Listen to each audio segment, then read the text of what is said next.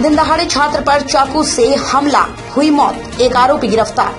बड़ी खबर, जिला मुख्यालय रायगढ़ शहर से। जहाँ आज दिन स्कूल छात्र के मर्डर से क्षेत्र में हड़कंप मच गया। राम भांटा संजय मैदान में लगी कैलाशनाथ काटजू हाई स्कूल में पढ़ने वाले कक्षा नौवीं के छात्र की दो नाबालिगों ने मिलकर स्कूल परिसर में ही हत्या की है। कक्षा नौवीं में पढ़ने वाले छात्र उम्र लगभग 16 वर्ष का उसी क्षेत्र में रहने वाले दो लड़कों से विवाद हुआ।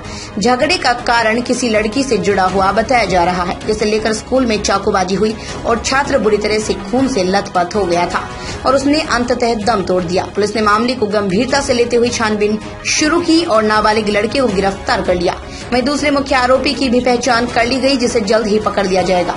एसपी अभिषेक मीणा खुद इस मामले की मॉनिटरिंग कर रही हैं।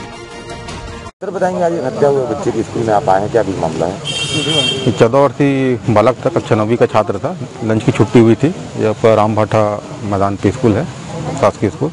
लंच की छुट्टी में वो बच्चा बाहर निकला था तो जो तीन जो बच्चे हैं या व्यक्ति हैं स्कूल कंपाउंड के अंदर आए और किसी बात को लेकर पेट के निचले हिस्से में चाकू मार के घायल कर दिए थे जिसे उपचार के लिए हॉस्पिटल ले जाया गया था जहाँ पे अभी सूचना आ रहा है कि बहुत हुआ है। सर किसने मारा चाकू? क्या कुछ जानकारी की सामने निकल पा रही एक तनु नाम के किसी व्यक्ति का नाम आ रहा है फ़ोटो अभी हमारे पास उपलब्ध हो गया है आगे अभी पतासाजी की जा रही है जल्दी गिरफ़्तार में होंगे आरोपी। वो भी बच्चे छात्र थे।